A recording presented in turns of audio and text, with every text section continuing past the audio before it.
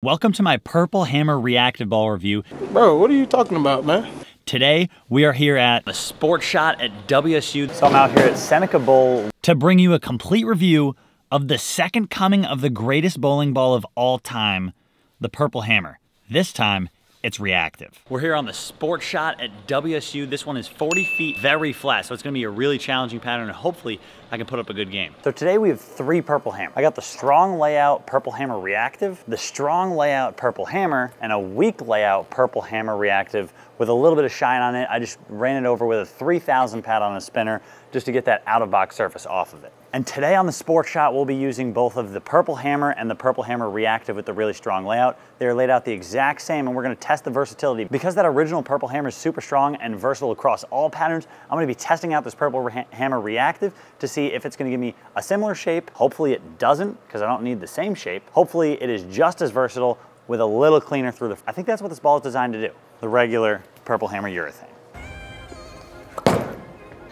Really early hook. Broke. Great. There we go.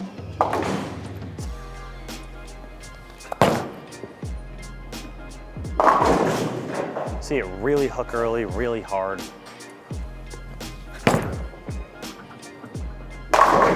This is actually kind of what I want to see where there's a ton of early friction on the lane. I don't need my purple hammer. It hooks way too early and really jumps offline. I'm gonna give it two more shots just to see, and then I'll, uh, I'll break out the reactive purple hammer and I'll let you guys know what I see.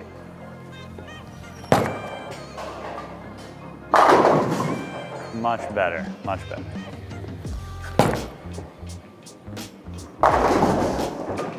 Whoop, Here I come. Oh, here I come. And that's why we need the purple hammer reactive.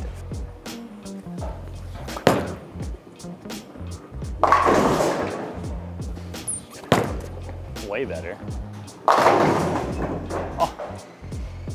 I'm now warmed up and ready with this Purple Hammer Reactive. I'm gonna bowl one game with it, take you through my thought process, my moves, and let you guys know what I think and where it fits in my bag on the sport shot before I go over to Seneca Bowl and bowl on the house shot. Hopefully Brunswick doesn't hate me for this ball review. It better go well.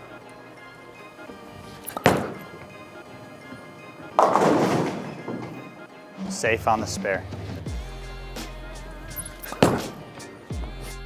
Done.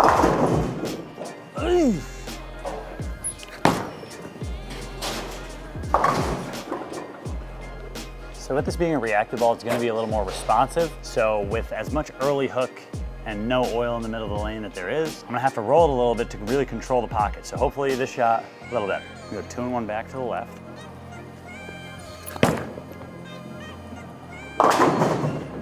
And just throw a really bad shot. All right, so here's the deal. It's been a little bit of a struggle the first half of the game because right in this region, there's like no oil from all of the open play.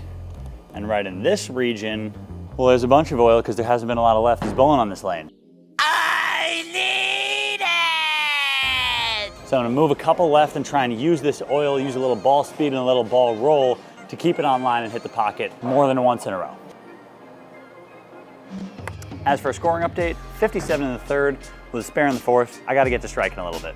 Show you guys what this ball can do on the sport shot and show you how versatile it is.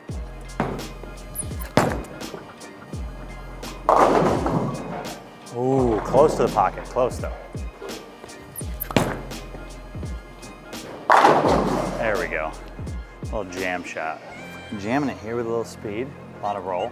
Quick break in the action. These are the 31 bowling balls I'm trying to give away to you guys in the month of December, but we have to hit 90,000 subscribers before I give these away to you. I don't actually know what we're pacing, but it's right here.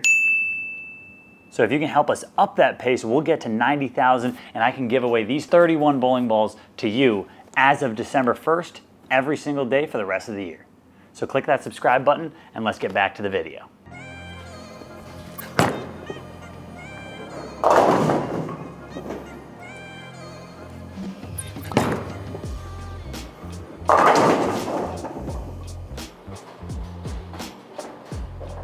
The move left and the higher ball speed, I found a way to hit the pocket and really um, control the head pin and control my spares easier. So now I just gotta throw some good shots down the stretch.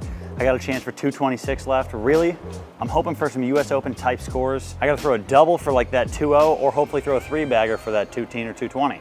So Um, gotta throw some good ones.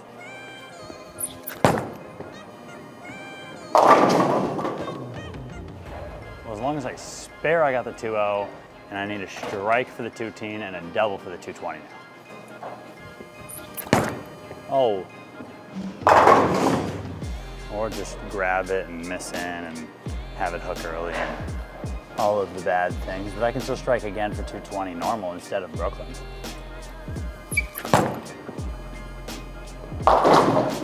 And then miss one to the left. Could have been a better last couple shots. Are you sure about that? But regardless, 213 final score. And what do you guys think would happen if I threw the weaker one instead of the tall with the out of box surface? And Now that you guys have guessed, I'm gonna, I'm gonna throw it. Give it three shots, and then I'll bring it to Seneca and show you guys what that ball can do on the house shot.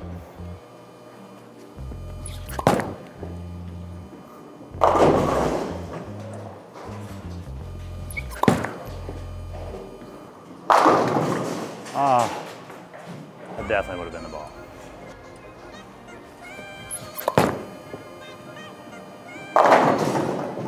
Like that's just so frustrating that I would have hit the pocket with the ease with the weak one. So now I'm sadly taking the weak one over to Seneca to show you guys how well this ball is going to roll on a house shot, hopefully. Just do it!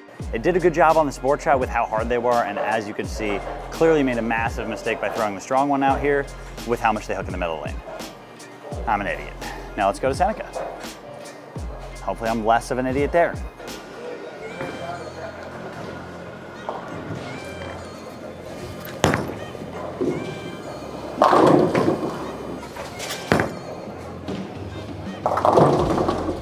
So I'm out here at Seneca Bowl looking to shoot a big number with this weaker purple hammer and take you on that process along what I can move, what my moves are, and where it fits in my bag on the house shot, as well as where it fits in my bag on the sport shot.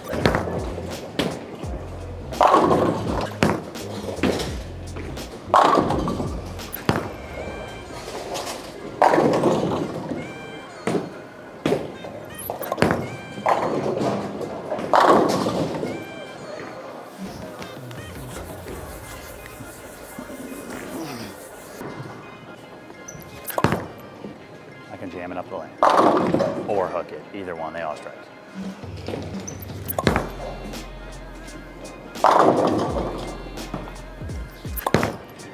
Hook, hook. Oh my God. Strike, strike, strike.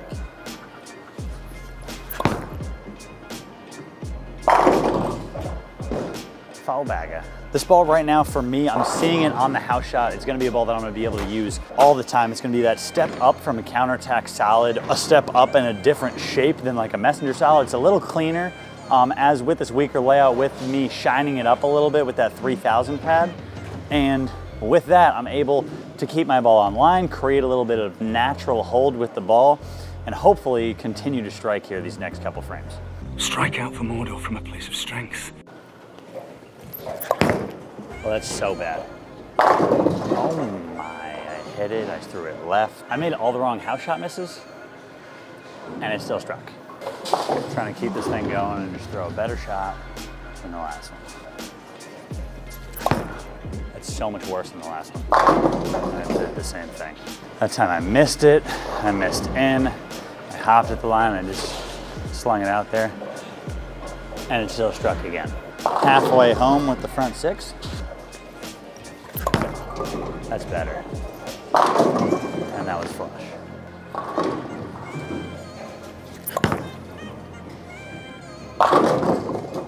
Uh, front seven, front eight, no more. Uh-uh, uh-uh.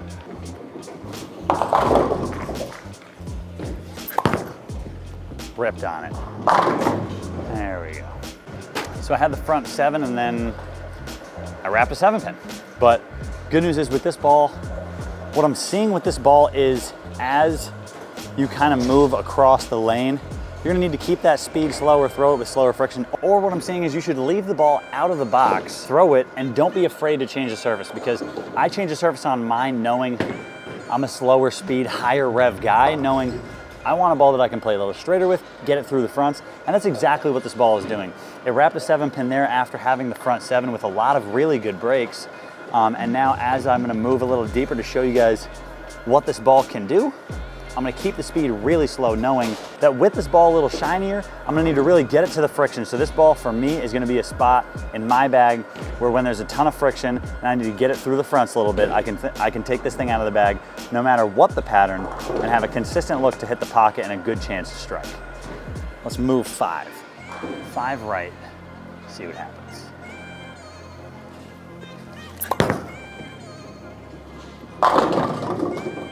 Well, would you look at that? Maybe I'll move another five. Another five here. Really get it to the friction. Oh, almost struck. Okay, maybe I can't move that deep.